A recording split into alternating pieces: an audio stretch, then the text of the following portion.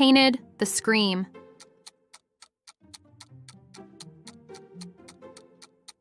Answer C. Edvard Munch. What is the square root of 144?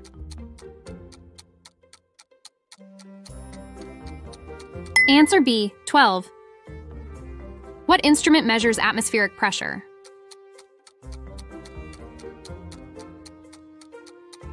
Answer B. Barometer. Who is the author of The Hobbit?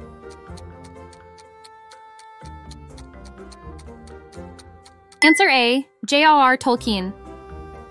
What is the capital of Brazil? Answer C. Brasilia. What element is represented by the symbol O? Answer A. Oxygen.